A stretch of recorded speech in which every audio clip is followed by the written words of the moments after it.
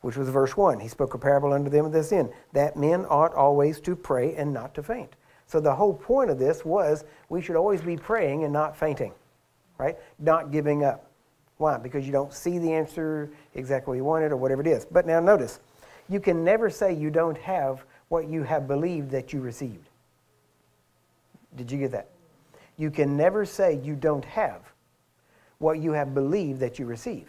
Now, Mark 11 23 tells us that whatever we believe when we pray, believe that we receive, and we shall have. But when you believe that you have received, now you got it now, but you shall have it. Do you get that? In other words, you've got it, but nobody can see you have it. But there will come a point where everybody else can see you have it.